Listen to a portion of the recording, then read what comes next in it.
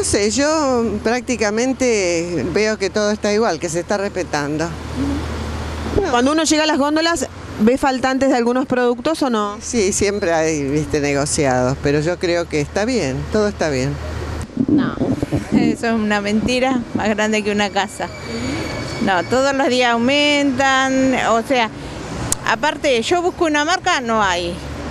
Me tengo que comer las marcas que ellos quieren. Entonces no, para mí no, no vale eso.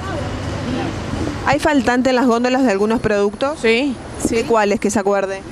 Hierbas, aceite, sobre todo aceite, eh, harinas, todo eso falta. No, no, no hay, no hay casi los, los productos de congelamiento, no hay. Compramos lo, lo que hay y si no, compramos lo caro que siempre está.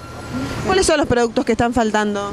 Y aceite, harina, fideo, todo eso está faltando. ¿Qué hacen cuando llegan y no hay? ¿Eligen otras marcas que no están en el acuerdo? ¿Cómo hacen? Marcas se pueden, se, se tiene que agarrar de la bodega, de la bodega porque no hay este los precios caros agarramos igual.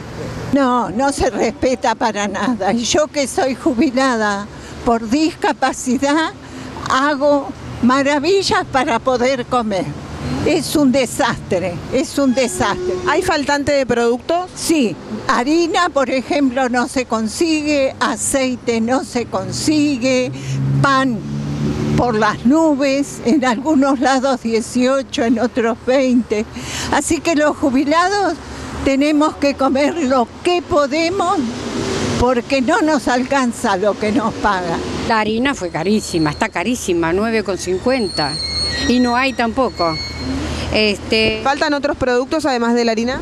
no, no, la yerba compré yerba, compré de todo, no, no, no nos falta. La harina falta, no hay nada, nada, nada, nada. ¿Los otros productos que compró, los compró a precio mantenido o no? Mira, yo, la verdad el precio mantenido ni lo sé, porque a veces no escucho.